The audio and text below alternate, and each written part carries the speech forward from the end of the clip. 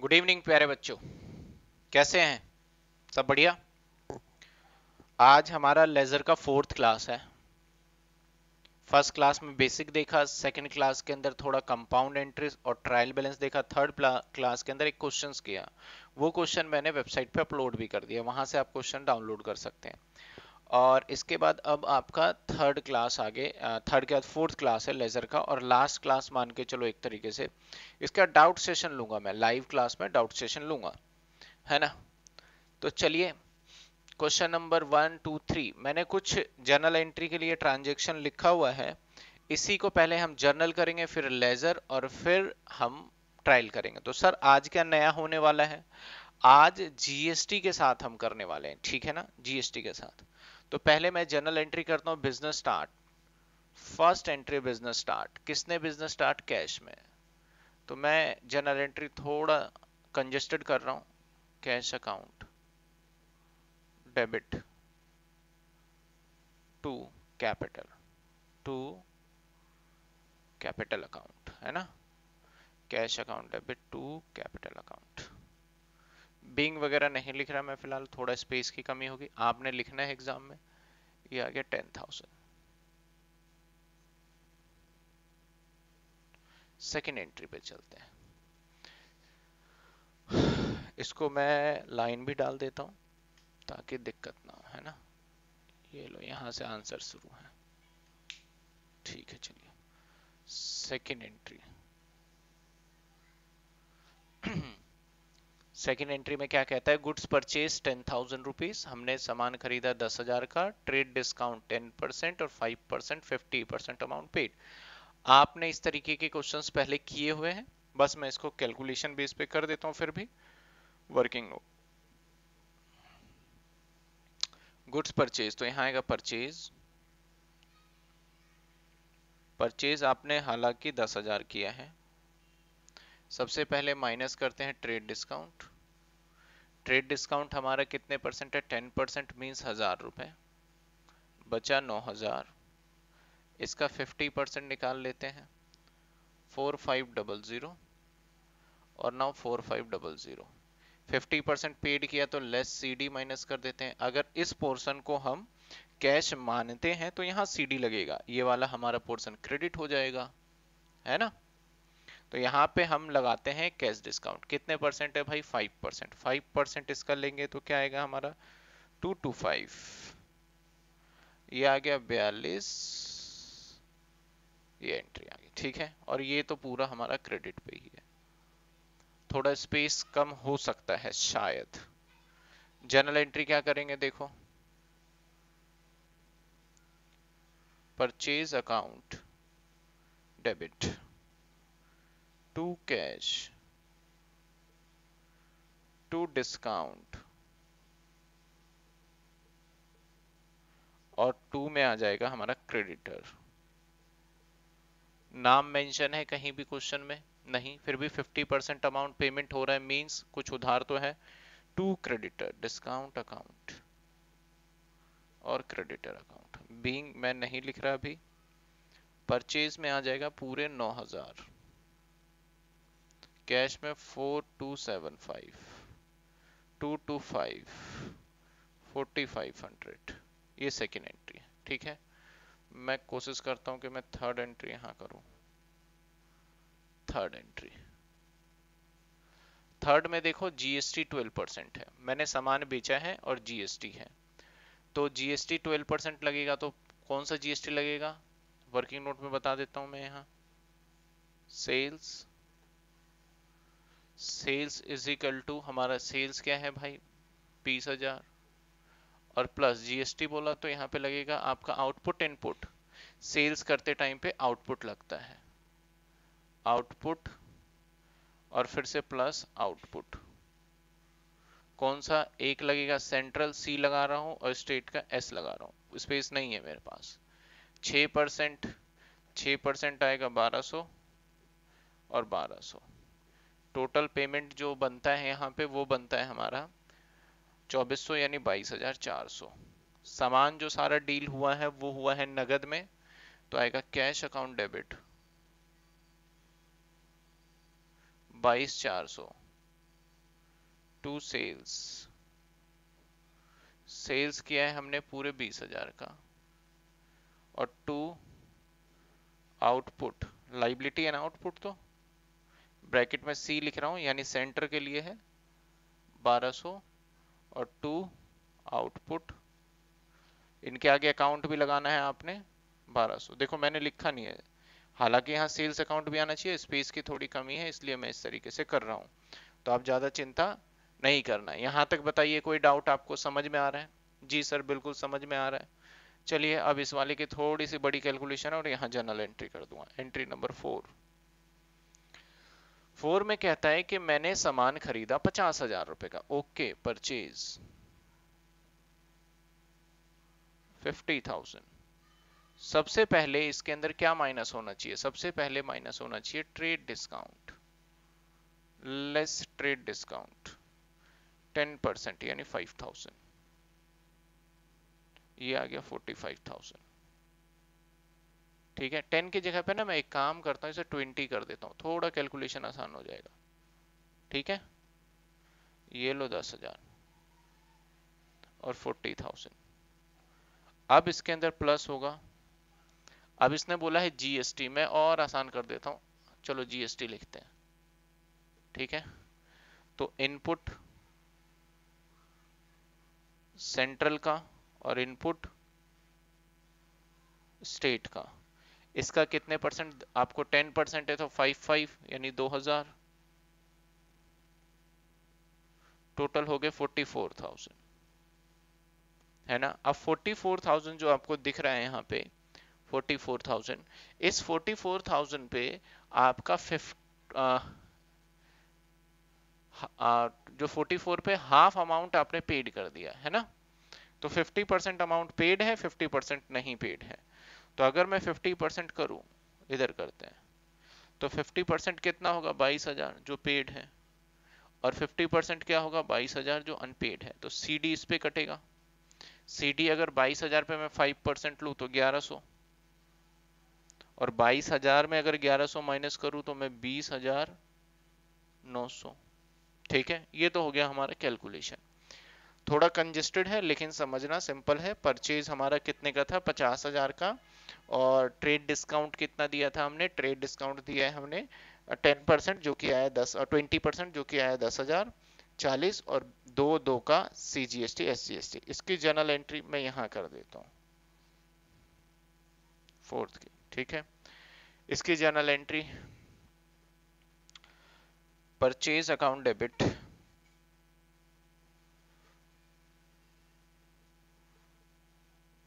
उसके बाद two output input है ना इनपुट यहाँ थोड़ी सी कंजेस्टेड हो सकती है आपको देखने में। दैट्स वाई मैं इस फोर्थ की जर्नल एंट्री ना, जैसे आप ये नोट करोगे, इसके बाद कर दूँगा। वर्किंग नोट तो कर लिया है, अब लेजर बना लेते हैं। लेजर कितने बनेंगे? लेजर नंबरिंग कर लेते हैं, है ना? यही तो सीखा था। एक, दो और परचेज तीन, कैश बन चुका है डिस्काउंट, चार, क्रेडिटर, पाँच पाँच के बाद कैश बन चुका है सेल्स, छ, सात एंड आठ। टोटल आठ अकाउंट है और इनपुट का भी बनेगा हमारा नौ, दस, टोटल दस अकाउंट हमें बनाना है। चलिए दस अकाउंट बनाते हैं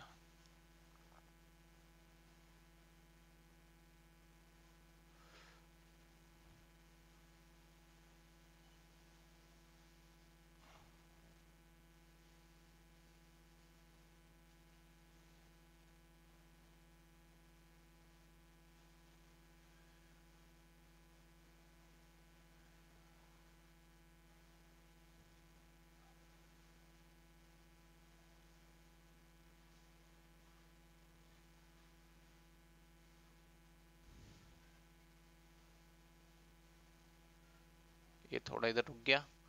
कोई बात नहीं।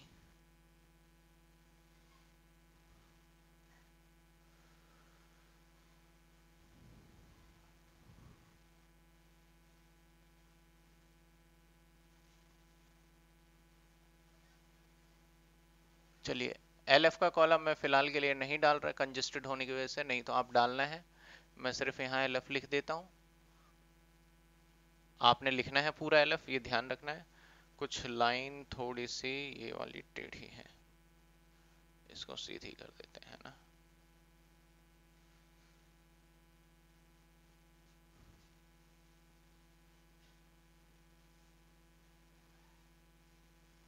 ठीक है, दिख रहा है आप सभी को? यहाँ तक दिख रहा है ना आप सभी को? यहाँ तक? पूरा एंड तक ले रहे हैं हम? चलिए, एक कैपिटल अकाउंट बन गया। ऊपर का।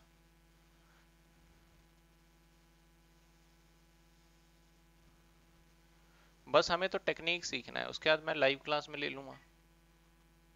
इसके नीचे।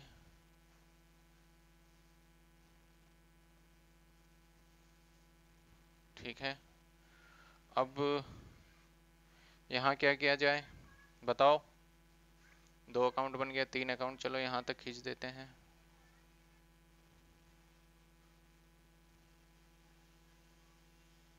इसलिए कह रहे थे थोड़ा टोटल नंबर ऑफ़ अकाउंट दस बनेंगे हमारे टोटल एक, दो, तीन, चार.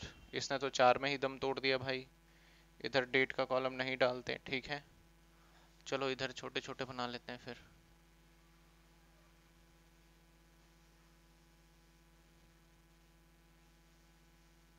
फिर लेजर भी बनाना है.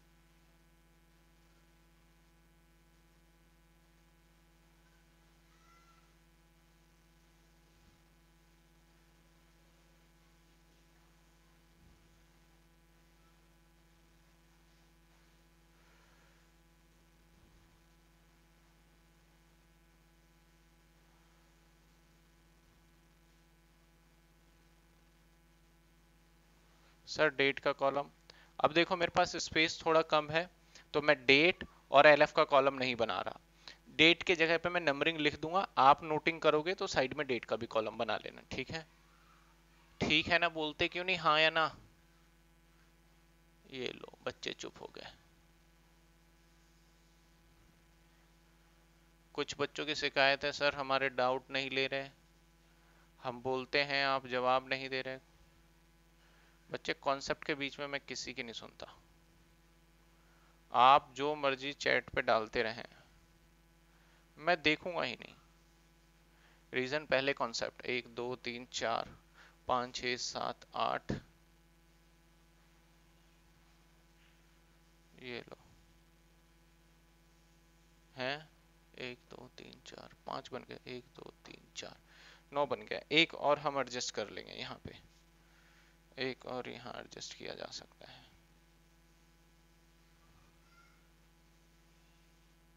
ठीक है। बना लिया बस, समझो।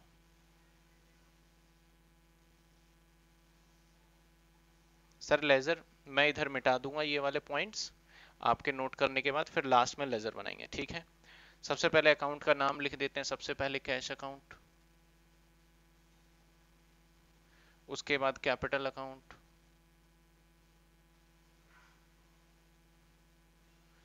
उसके बाद आपका परचेज अकाउंट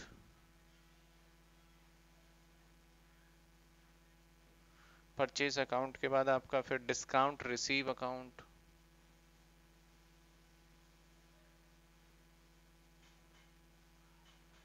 discount receive के बाद क्रेडिटर अकाउंट क्रेडिटर अकाउंट के बाद सेल्स अकाउंट सेल्स अकाउंट के बाद आउटपुट जीएसटी अकाउंट और वो भी आउटपुट किसका? सेंट्रल का।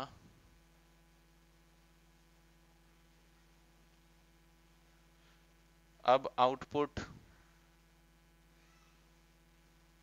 S G S T ठीक इसी तरीके से हमें बनाना पड़ेगा आउटपुट इनपुट एक इनपुट भी होगा। मैंने यहाँ पे देखो कैलकुलेशन में दिखाया है इनपुट ये इनपुट का भी बनेगा तो input C G S T और input S G S T सारा बना लिया, ठीक है? और रहा सेल और परचेज बन चुका है क्या? परचेज सेल्स बन चुका है। बस इतने ही बनने हैं लेजर जो मैंने बना लिए इसके अंदर मैं एक जगह पे लिख देता हूँ, आपने पूरे पे लिखना है। मैं एक जगह लिख देता हूँ पर्टिकुलर और यहाँ अमाउंट यहाँ पे डेट और LF का भी कॉलम बना दे ओके आपके लिए एक में बना देते हैं। और यहाँ भी बना देते हैं आपके लिए, है ना? और अमाउंट और पर्टिकुलर ठीक है? आपको समझ में आ रहा है यहाँ तक? ठीक है। Cash capital purchase discount creditor sales output GST SGST input और इनपुट सारी चीज़ें हमने डाल दी। नाउ अब हम पोस्टिंग करते हैं। सबसे पहले कैश अकाउंट में जाएँगे और लिखेंगे टू कैपिटल याद होगा? फ़र्स्ट एंट्री है हमारी। टू कैपिटल यही करते हैं ना? दस हज़ार रुपए। कैश में गए और टू कैपिटल दस हज़ार। इसके बाद कैपिटल में जाके क्या लिखेंगे? बाय कैपिटल में जाके बाय कैश दस हज़ार। डेटेड नहीं है तो एक नंबर डाल देते हैं। और ये जो कॉलम है ना डेट वाले पर्टिकुलर अमाउंट ये तो अमाउंट तो मैं लिख देता हूँ। पर्टिकुलर भी लिख देता हूँ। चलो लिखते जाते हैं। आपने लिखने होते हैं वैसे। ये डेट है। ये पर्टिकुलर अब बोलोगे, सर एलएफ तो लिखा नहीं। एलएफ लिख लेना आप। आपके पास तो रजिस्टर है। मेरे पास रजिस्टर नहीं है तो मैं उसी के अकॉर्डिंग काम कर रहा हूँ आज। है ना? चलिए फ़र्स्ट एंट्री डन इसको मैंने डन लिखा। फ़र्स्ट के बाद सेकेंड एंट्री हमने यहाँ पे किया है, परचेज में जाएँगे। अब देखो समस्या। तीन तीन है यहाँ पॉइंट यहाँ तीन तीन है। अब समझने वाली दिक्कत है कि इसीलिए मैंने करवाया है। सबसे पहले हम जाएँगे परचेज में। परचेज में टू कैश टू डिस्काउंट और टू क्रेडिटर लिखना पड़ेगा। तो परचेज में गए, मैंने लिखा। परचेज में जाके सबसे पहले टू कैश टू डिस्काउंट और टू क्रेडिटर और अमाउंट आ जाएगा कैश में four two seven five two two five ये रिसीव वाला है और फोर्टी फाइव हंड्रेड इस तरीके से लिखना है। और भी आएँगे इसके अंदर तो भी। ठीक है? तो देखो परचेज में गए और टू और अमाउंट भी हमने इसी का लिया। अब अमाउंट किसका लिया जाता है, नहीं लिया जाता, वो आपको सोचना पड़ेगा, है ना?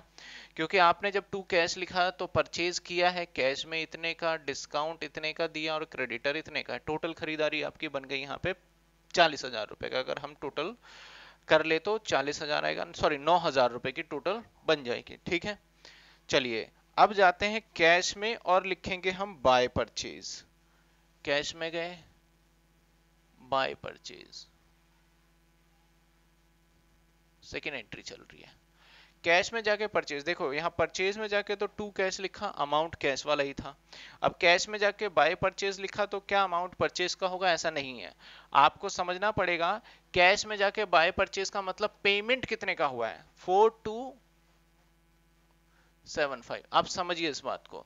मैं किसमें गया? मैं गया कैश में। कैश में जाके बाय परचेज लिख तो रहा हूँ, लेकिन ये भी सोचना पड़ेगा कैश पेमेंट कितने का है। क्योंकि क्रेडिट में क्या होगा? पेमेंट होगा। और पेमेंट कितना आया हमारा? फोर टू सेवन फाइव का। समझ में आई बात? क्योंकि कैश हमारा इधर से क्या होता है? प्लस और इधर से माइनस। सिंपल सी बात है, हमें पता चल रहा है कि परचेज किया है टू कैश। तो कैश में जाके क्या लिखना है? By purchase. ऐसे ही डिस्काउंट रिसीव डिस्काउंट रिसीव है ये। अलाउड वाला नहीं है। एक कॉलम और बनना है डिस्काउंट अलाउड का, जो कि मैं अभी बना दूँगा। तो डिस्काउंट रिसीव है, क्योंकि परचेज किया है तो क्रेडिट है। अगर डिस्काउंट रिसीव है तो डिस्काउंट रिसीव में जाएँगे और लिखेंगे बाय परचेज। अमाउंट डिस्काउंट का कितना है, वो लिखो। यानी सिंपल जिस अकाउंट में जाते हैं अमाउंट उसी का टोटल बनता है हमारा। ठीक है? ऐसे क्या पता चलेगा भाई डिस्काउंट मिला, किस पे मिला? परचेज पे मिला, है ना? अब क्रेडिटर में जाएँगे, लिखेंगे बाय परचेज क्रेडिटर में जाके बाय परचेज और अमाउंट 4500 ये सारी की सारी एंट्री सेकेंड एंट्री है हमारी। सब मैंने डाल दिया, ठीक है? थर्ड एंट्री हमारे सामने सेल्स की है। यहाँ तक देखो, फिर दोबारा बताऊँ, फिर अगेन एक बार बताऊँ, चलिए। परचेज में गए और लिखा टू कैश टू डिस्काउंट और टू क्रेडिटर परचेज में आ गए to cash to discount to creditor अब कैश में खरीदारी इतने की डिस्काउंट दिए इतने की और क्रेडिटर इतने का आ गया, ठीक है? अब कैश अकाउंट में गए और वहाँ क्या लिखेंगे? By purchase. लेकिन अमाउंट कौन सा? कैश में। तो कैश में बाय परचेज ये आ गया। उसके बाद डिस्काउंट रिसीव है ये। तो डिस्काउंट रिसीव में भी जाके क्या लिखेंगे? बाय, क्योंकि बाय में क्या है यहाँ? परचेज है। तो डिस्काउंट रिसीव में जाके बाय परचेज। फाइनल क्रेडिटर में भी जाके बाय परचेज हमने लिख दिया। ठीक है? हाँ सर, ये ठीक है। यहाँ तक समझ आ गया। अब छठी एंट्री और सातवीं जो ये है, इसको करते हैं। फिर से कैश में जाएँगे, लिखेंगे to sales to output GST और टू आउटपुट जीएसटी ठीक है? चलिए entry number three to sales sales का पैसा कितना आया हमारे कैश इतना आया, लेकिन हमें कैश वाले अमाउंट को लिखना है। कैश में जाके टू सेल्स अब सेल्स में हमारा बीस हज़ार था और यहाँ पे आया output C G S T 1200 और output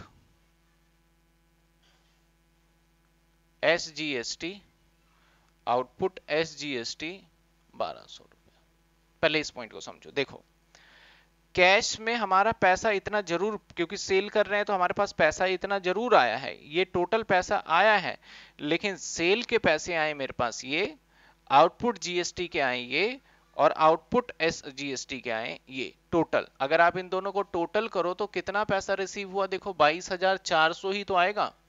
बाईस हज़ार चार सौ ही आएगा ना टोटल करो, जो यहाँ पे लिखा है। है कि नहीं? अब देखो सेल्स में जाएँगे, बताओ फटाफट क्या लिखेंगे। सेल्स में जाएँगे तो क्या लिखेंगे? जल्दी बताइए। सर सेल्स में जाएँगे सेल्स में जाके बाय कैश ठीक है, बिल्कुल जवाब ठीक।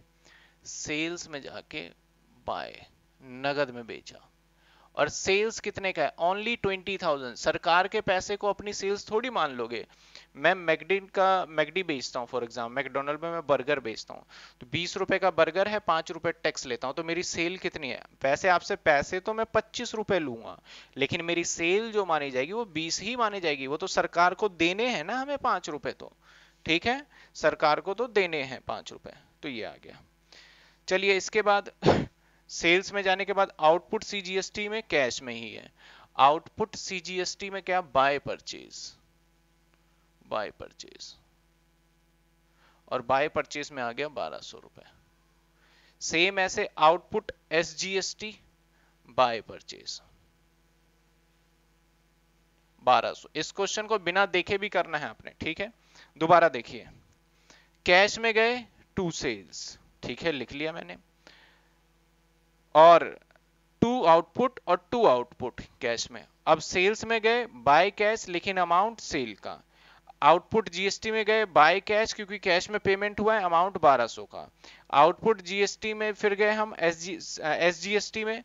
फिर से हमने लिखा बाय कैश लेकिन अमाउंट 1200 तो इससे ये प्रूफ हो जाता है कि हमें सावधानी के साथ देख के करना पड़ेगा, कि हमें अंदाज़ा लगाना पड़ेगा। ऐसे पता है क्या समझ में आ रहा है? देखो सेल्स किया हाँ सेल्स कितने का? बीस हज़ार का, ठीक है?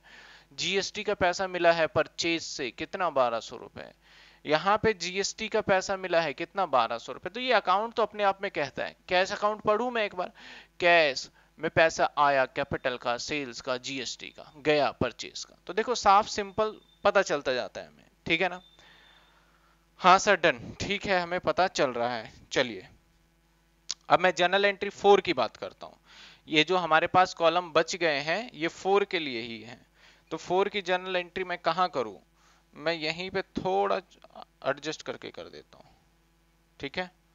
एडजस्ट करके कर रहा हूँ फोर की जनरल एंट्री परचेज किया है तो purchase account purchase account debit input CGST input SGST to sales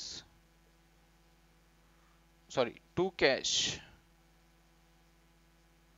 और टू डिस्काउंट रिसीव और एक और इसके नीचे टू आ जाएगा। टू डिस्काउंट रिसीव के बाद टू क्रेडिटर अभी दिखा देते हैं। बोल रहे सर, दिख नहीं रहा नीचे, दिख नहीं रहा, कट गया कट गया। कोई बात नहीं, अभी दिखाते हैं। ओ लो लो। अब दिख गया आपको? बोलो, दिखा या नहीं दिखा? सर, दिख गया। ठीक है। ठीक है जी, ये लो दिख गया। इसमें अमाउंट कितना आएगा? परचेज कितने का किया आपने? परचेज किया आपने चालीस हज़ार फोर्टी थाउज़ेंड इनपुट कितने का है सर इनपुट यहाँ पे है दो हज़ार और ये भी दो हज़ार। कैश में कितना हुआ? कैश में to zero nine double zero discount receive ग्यारह सो और ये बाईस हज़ार। ये लो जी, हो गया। अब इसकी जनरल एंट्री अब समस्या आ गई। समस्या अब आई है मेन कि सर पहले तो या तो डेबिट में दो था हमारा या क्रेडिट में। देखो जैसे, पहले क्रेडिट में तीन, ऊपर एक तो कोई बात नहीं। और यहाँ पे भी क्रेडिट में तीन और ऊपर एक, कोई बात नहीं, वो चल रहा था। लेकिन अब डेबिट में भी तीन और क्रेडिट में भी तीन। तो अब किसके अमाउंट को कैसे करेंगे? ये समझना है। अब किसके अमाउंट को कैसे करेंगे? अब एक एक करके, ध्यान से। परचेज में जाके क्या लिखेंगे? To cash. परचेज में जाके टू कैश। तो मेरा परचेज ये रहा और मैंने लिखा टू कैश। आप मुझे सच सच बताओ, परचेज में कैश कितना गया? तो जवाब है सर, परचेज में जाके टू कैश बीस नौ सौ। बीस नौ सौ। सिंपल समझ रहे हैं। हम परचेज में गए और परचेज में जाके क्या लिखा? To cash. कैश में पेमेंट कितना है? कैश के जगह पे हमने कैश का सिंपल, बड़ा ही आसान है। कोई परेशानी, कोई दिक्कत नहीं, सर। ठीक है, ओके। आगे चलते हैं। अब इनपुट में जाएँगे। अब क्या लिखें? अब आप, समस्या यह है कि, सर, इनपुट का क्या है? तो देखो, इसके पीछे थोड़े से डिस्प्यूट भी है कि जो आपने पैसा रिसीव किया है, इसके ऊपर मैं अलग से भी एक क्लास लूँगा। अभी आगे कंटिन्यू जाऊँगा तो। जो पैसा आपने रिसीव किया है ना, इसमें जीएसटी हम मान लेते हैं कि इंक्लूड करके, हम पहले सरकार का पैसा रिसीव कर रहे हैं, उसके बाद बाकी किसी का करेंगे। तो हमारा ये अजम्पन है, ठीक है ना? मैंने बोला कि चलो भाई, बीस रुपए का बर्गर दस रुपए का टैक्स टोटल कितना हो गया? तीस रुपए। किसी ने मुझे पंद्रह रुपए दे दिए। तो मैं मान के चलूँगा कि दस रुपए टैक्स के दिए हैं और पाँच रुपए सर, मेरे सेल्स के हैं। ये मानना है हमने कैश में। ठीक है क्लियर तो हमें मान के चलना है कि जीएसटी का पहले पैसा आ गया। तो अब सर कैश में तो आपने सेल्स दिखा दिया इतने का। मैं मना कब कर रहा हूँ? मैंने कैश में सेल्स कितना दिखाया ये? और जीएसटी में तो सर है यहाँ पे चार हज़ार रुपए। तो वो तो गड़बड़ हो जाएगी। तो इसको कैसे किया जाए? इसको करने का तरीका देखो। हमारे पास परचेज में गए और टू कैश अब कैश को बाइफिकेशन करना पड़ेगा हमें। हमें कैश को तोड़ना पड़ेगा। तोड़ना पड़ेगा या फिर मैं एक काम करता हूँ, यहाँ तक आपको क्लियर है? मैं इस एंट्री को ना अलग से लेके चलूँगा, ठीक है? आज सिर्फ़ जीएसटी का ये करता हूँ, ये लो, ये कैलकुलेशन रखना। इस एंट्री को मैं फ्रेश पूरे बोर्ड पे पहले समझाऊँगा, क्योंकि अभी समझाया तो समस्या आ जाएगी, समस्या ये आएगी कि कॉन्सेप्ट कहीं छूट ना जाए। मुझे यही डर लग रहा है, कहीं छूट ना जाए। यहाँ तक सब क्लियर है आपको, इसे लो मिटा देते हैं, ठीक है? इसे मिटा देते हैं। समझ गए? सिर्फ़ तीन का ही करेंगे। ये लो, इसको भी काट दिया मैंने, मिटा दिया। यहाँ तक हर बच्चे को क्लियर है। यहाँ तक इसके आगे का कॉन्सेप्ट मैं अलग से लेके, सिर्फ़ एक एंट्री को मैं अलग से एक्सप्लेन करके लेजर बना के करके दिखाऊँगा, ठीक है? हाँ सर, ये समझ में आ गया। चलो, इसको टोटल वोटल करके खत्म करें। ये एक क्वेश्चन हो गया। सर, फिर ये वाला क्वेश्चन पॉइंट नंबर फोर हम जो क्वेश्चन कर रहे हैं, वो पॉइंट नंबर थ्री तक ही कर रहे हैं। फोर क्वेश्चन का मैं अलग से करके बताऊँगा। वर्किंग नोट ये है, मैं सब मिटाऊँगा। आप नोट करेंगे तो फोर के लिए स्पेशल लेजर बना के दिखा दूँगा। लो जी, और कितनी हेल्प करें आपकी? चलिए।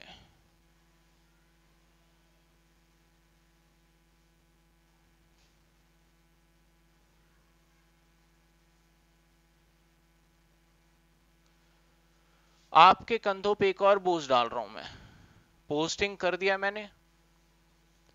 टोटलिंग भी कर दिया मैंने। ये तो है ही नहीं जी, छोड़िए। टोटल आपने करना है। टोटल आपने करना है। और टोटल करके जब मुझे होमवर्क भेजोगे तो स्पेशली होमवर्क पे हाईलाइट करके भेजना है। सर आपने क्वेश्चन छुड़वाया था। मैंने अपने आप सेल्फ किया है। कृपया करके इसे चेक करके रिवर्ट करें। मैं तुरंत पढ़ के रिप्लाई करूँगा। अर्जेंट रिप्लाई करें लिखना आपने। मैं अर्जेंट रिप्लाई करूँगा। ठीक है बच्चे? अब मैंने कितने तक पॉइंट कवर किए हैं? तीन पॉइंट इसके अंदर थोड़ा जीएसटी को मैंने डाला है, तीन पॉइंट के अंदर। और तीन पॉइंट के साथ साथ अब आगे हमारा सारा का सारा जर्नल एंट्री भी है। Point one two and three और उससे रिलेटेड लेजर है। क्या मैंने पूरा काम कर दिया? नहीं, आधा किया है। बाकी का आधा कौन करेगा? सर, हम करेंगे। आप करोगे बच्चे बाकी का आधा। तो बाकी का आधा अभी आपने करके दिखाना है। पहले फटाफट नोट करिए, फिर हम इस वाले पॉइंट पे चलेंगे। जल्दी जल्दी नोट करिए फटाफट से।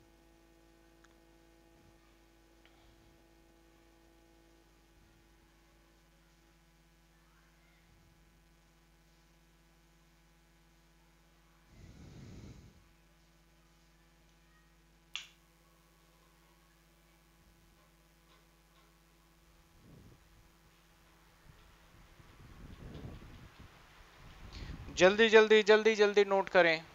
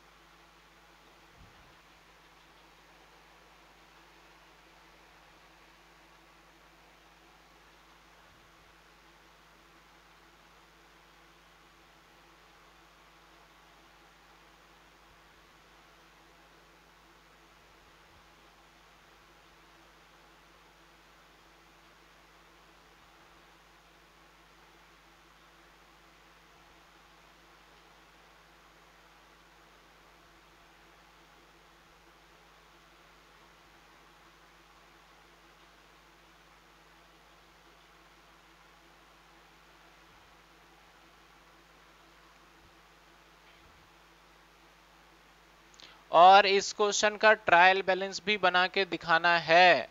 ध्यान रखना है आपने।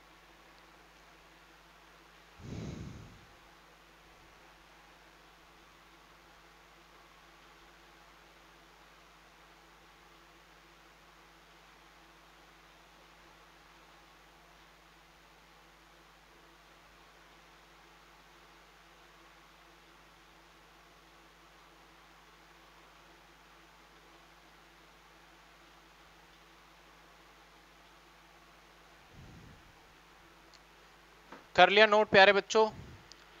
तो इसके ऊपर जो मैंने ये वर्किंग नोट किया है, ये नोट कर लेना। इसे या मैं मिटा देता हूँ। आपको तीन ही पॉइंट करने हैं। इस पॉइंट को मैं मिटा देता हूँ। इसके ऊपर मैं अलग से क्वेश्चन लेके आ रहा हूँ और अलग से सिर्फ़ जहाँ नीचे दो, ऊपर दो, थोड़ा कॉम्प्लिकेटेड है। इसलिए मैं उसको चाहता हूँ कि आपको आराम से आधे घंटे, एक घंटे लगा के समझाऊं।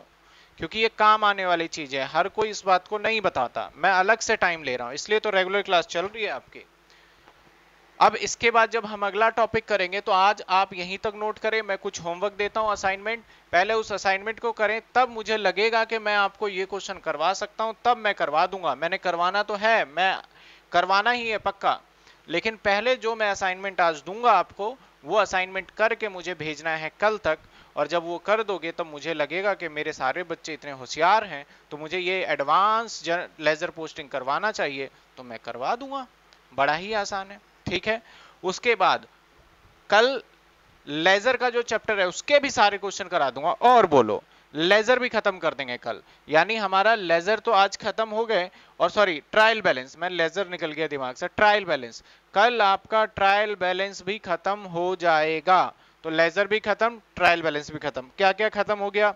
चैप्टर वन खत्म हो गया, चैप्टर टू खत्म हो गया, चैप्टर एट खत्म हो गया, जर्नल एंट्री वाला, चैप्टर नाइन खत्म हो गया, लेजर, और एक चैप्टर ट्वेल्व या थर्टीन है आपके बुक में, ट्रायल बैलेंस के नाम से अलग से, वो भी खत्म कर लिया। कुछ बच्चों के एग्ज़ाम आने वाले हैं पंद्रह अठारह से तो अब इसके बाद हम क्या करेंगे? थर्ड और फोर्थ चैप्टर थर्ड थ्योरी का है, उसकी चिंता मत करो, वो मैं अलग से भी आपको वीडियो शेयर कर दूँगा। वो कर रखा है मैंने। वो मैंने कर रखा है रिकॉर्डिंग लेकिन अभी नहीं दे रहा क्योंकि मैं प्रैक्टिकल में आपको ज़्यादा मज़ा आ रहा है, इसलिए मैं नहीं चाहता कि आपको थ्योरी में उलझाऊं। इसके बाद आपका एक अकाउंटिंग इक्वेशन रहेगा और एक रहेगा आपका वाउचर और सब्सिडरी तीन चैप्टर प्रैक्टिकल है बीच के। तो सब्सिडरी बुक में दो दिन लगेंगे अकाउंटिंग वाउचर के अंदर में एक से दो दिन मान लो, एक अकाउंटिंग इक्वेशन तीन दिन इसे मान लो और एक कैश बुक बहुत बड़ा चैप्टर है थोड़ा सा वो मेरे लिए और वो आपके लिए भी, उसके अंदर प्रैक्टिकल क्वेश्चन है और आगे फ्यूचर में काम आता है तो उसको भी, उस पर भी करेंगे, ठीक है? तो कल मिलते हैं हम सेम टाइम पे और एक बात और ध्यान रखना है प्यारे बच्चों आपको कि पढ़ने के साथ साथ आप इसको भूलना नहीं है। ऑनलाइन टेस्ट लिया था अभी मैंने आपके ऑनलाइन टेस्ट में इतने अच्छे परफॉर्मेंस नहीं आए, फिर दोबारा से मैं टेस्ट लेने जा रहा हूँ। टेस्ट लेने के बाद फिर मैं ऑफलाइन टेस्ट भी बहुत जल्दी कंडक्ट करूँगा। ऑफलाइन का मतलब क्या है कि आपको क्वेश्चन पेपर मिलेगा, उसको सॉल्व करके उस टाइम ड्यूरेशन में अपलोड करके मुझे देने हैं। ठीक है? जी सर, बिल्कुल ठीक है। थैंक यू सो मच अब फटाफट से आप इसकी प्रैक्टिस करें, जो मैं क्वेश्चन दे रहा हूँ। ओके बाय बाय बच्चों।